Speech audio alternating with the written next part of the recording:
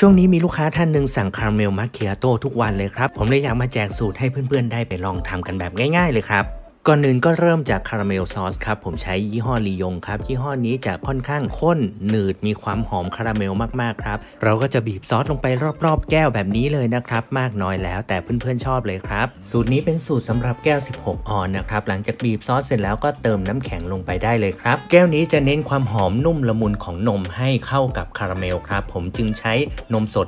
150 ml ครับและอีกหนึ่งวัตถุดิบสำคัญที่ขาดไม่ได้เลยก็คือไซรัปคาราเมลเราใช้ 20ถึง25 ml นะครับ ถ้าชอบหวานก็เติมลงไปเพิ่มได้ครับ วันนี้ผมจะสกัดกาแฟโดยใช้กาแฟแคปซูลนะครับ ซึ่งโดยปกติเนี่ยกาแฟแคปซูลถ้านำมาทำกาแฟเย็น 1 แคปซูลจะค่อนข้างจืดครับ เราเลยใช้ 2 แคปซูลในวันนี้ สกัดน้ำกาแฟออกมาให้ได้ 25มิลลิลิตรต่อ 1 แคปซูลนะครับ เพื่อความเข้มข้นของกาแฟครับ หรือถ้าเพื่อนๆจะสกัดกาแฟด้วยวิธีอื่น ก็ให้ได้ปริมาณของกาแฟ 50มิลลิลิตรครับ ซึ่งกาแฟในปริมาณนี้เราจะได้รสชาติที่ balance ระหว่างกาแฟกับนมครับทำให้ได้รสชาติกาแฟที่ออกหอมนุ่มสกัดกาแฟเสร็จเรียบร้อยก็ราดช็อตกาแฟลงไปด้านบนแบบนี้ได้เลยนะครับ กาแฟก็จะสลับชั้นกับนมกับคาราเมลสวยงามเลยทีเดียวครับ เพื่อนๆอย่าเพิ่งกลืนน้ำลายนะครับ top ด้วยฟองนมอีกสักเล็กน้อยเพื่อตกแต่งครับ แล้วเดี๋ยวเราจะได้บีบซอสคาราเมลลงไปแบบนี้ครับ เวลาที่เราดื่มเมนูนี้